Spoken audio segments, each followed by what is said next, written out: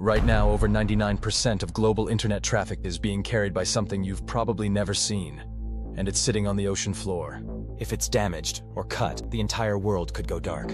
We're talking about undersea fiber optic cables, thousands of miles of thin glass threads that transmit light-speed data between continents. From banking transactions to emails to live streams, almost everything online passes through them.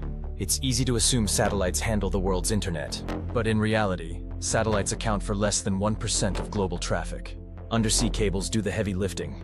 There are more than 550 active submarine cables spanning over 800,000 miles under the world's oceans. Some stretch from New York to London. Others run from California to Tokyo, and every major continent is connected through these hidden data highways. These cables are incredibly fast, capable of transmitting data at hundreds of terabits per second. That's what keeps our modern world running in real time. But here's where it gets scary. These cables are also shockingly vulnerable. They're only about the width of a garden hose, and while the core is protected by steel and insulation, they're still exposed to earthquakes, fishing trawlers, anchors, and yes, even intentional sabotage.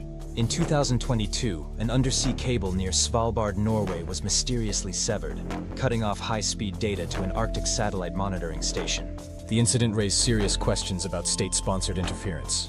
In 2008, multiple cables were cut in the Mediterranean Sea, disrupting internet access in India, Egypt, and the Middle East. Some regions lost up to 70% of their connectivity for days, and if a major transatlantic or trans-Pacific cable were taken down, it could delay financial markets, military coordination, and critical infrastructure worldwide. Governments know this. Some navies now actively monitor cable routes, and tech companies like Google, Facebook, and Amazon have started building and owning their own undersea cables to secure their data pipelines. But there's still a huge risk. Most cables are mapped publicly, and cutting just a few strategic ones could cause massive global outages. Repairing them isn't easy either. When a cable breaks, a specialized ship has to sail to the spot, pull it up from the seafloor, sometimes four miles down, splice it, and return it to service. That can take days or even weeks depending on conditions.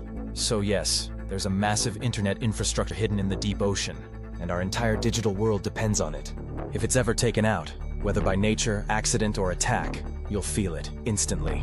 Subscribe for more hidden tech, global systems, and the invisible networks that power your life.